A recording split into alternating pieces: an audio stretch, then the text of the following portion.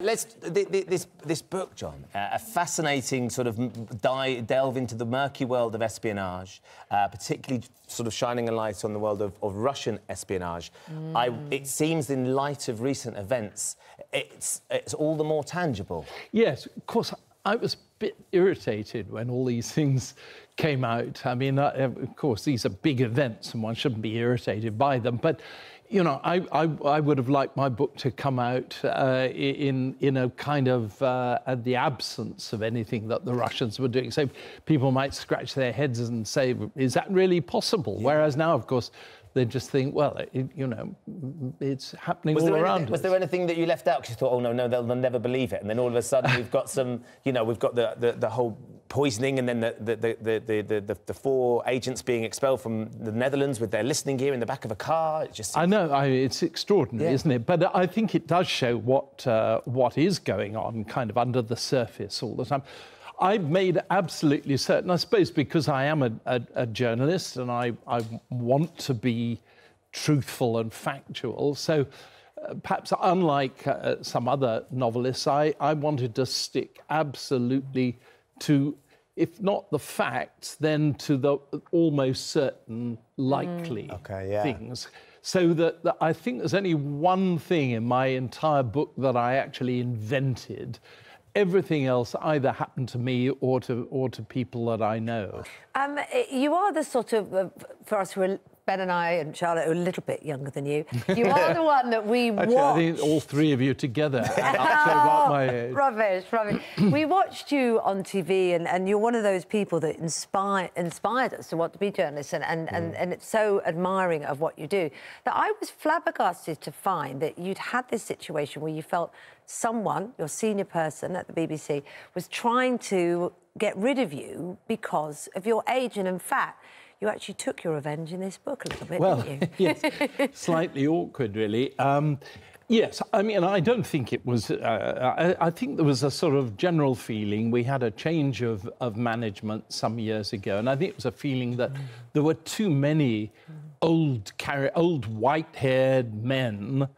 Uh, at the top of, of the BBC, you know, there's me, but there's a, a, a bunch of others. Um, and I think the feeling was let's let's sort of help them towards the exit, which is fine, except that I, I mean I'm I, you know I, I am 74, but I feel um, just as as good as active. Um, and as as uh, uh, you know able to do the job as I was when I was 34.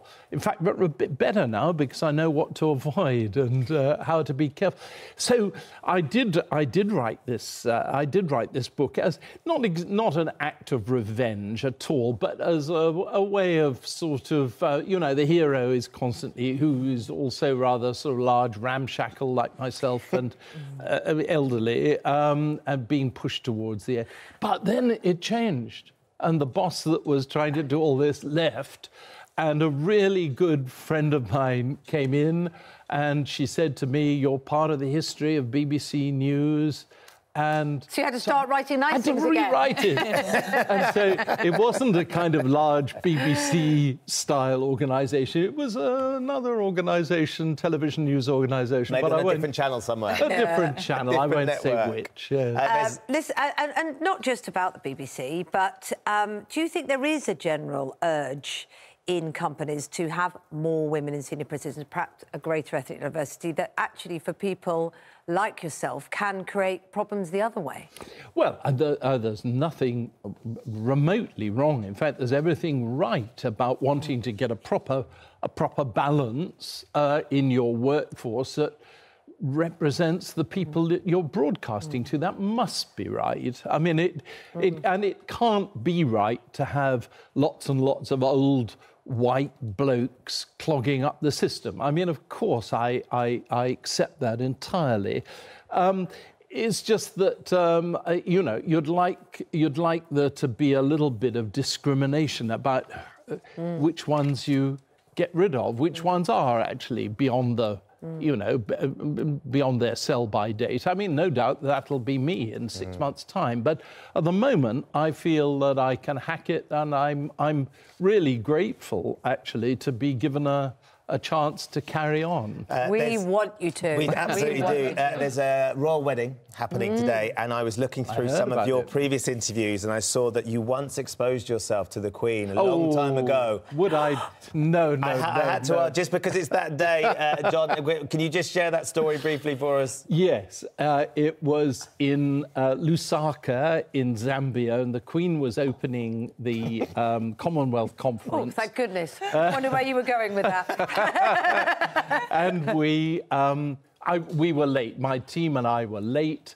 Uh, we had to run across a big open field and climb a barbed wire fence. Right. And we had a wonderful uh, and gorgeous uh, um, uh, South African sound recordist.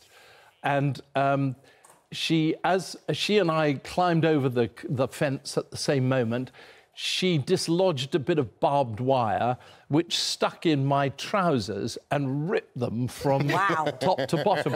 And so my, my, my bright blue underpants shone out, and there was the Queen watching. And uh, not only the Queen, but about 70,000 other people. And at first, only about 10,000 noticed. But after a bit, everybody was standing up applauding me. And It was very, very painful. And I met, uh, the, the, there was a reception where the Queen was, uh, uh, uh, where, where we were, where the, where the Queen was, was the, was hosting. And she came up to me and she said, I've been seeing a lot of you lately. Wonderfully dry. What a turn of phrase. Uh, John, thank you so much for coming and joining us. Best of luck with the book. Moscow Midnight is uh, is the novel, and as Kate said, it is a really intriguing feel and book. You get a sense that a lot of this that he's writing about, John's actually lived as well. Really lovely to meet you. Thank you. you.